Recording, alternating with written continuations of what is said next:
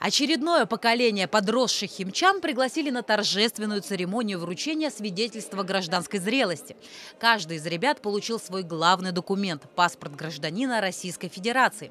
В главном зале музея «Артишок» прошла торжественная церемония, которую провел глава городского округа Дмитрий Волошин. Сегодня вы получаете свой первый паспорт гражданина Российской Федерации. Это действительно важный день для каждого из вас, ведь именно паспорт будет сопровождать вас в ответственные дни вашей жизни.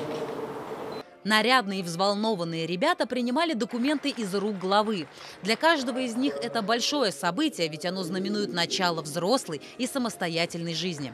Ну, это значит, то, что это самый наш главный документ, который у нас будет во всем, э, самый главный документ в нашей жизни, и он всегда будет у нас с собой. Для меня это значит, что началась новая ступенька в моей жизни.